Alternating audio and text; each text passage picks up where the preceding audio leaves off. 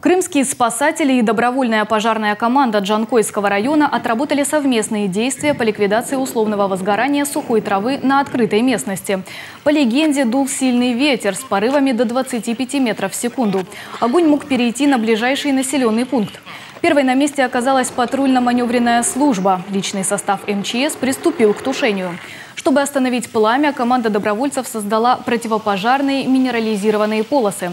Кроме того, при помощи автомобиля КАМАЗ на учениях отработали процедуру дозаправки водой пожарных автоцистерн. На сегодня мы видим, что э, ДПК Джанкойского района полностью обеспечена и э, пожарно-техническим вооружением, и обмундированием. И видно, что личный состав обучен, э, так как показал сегодня это учение. Я думаю, что данный коллектив, он справится с той задачей, которая на сегодня поставлена.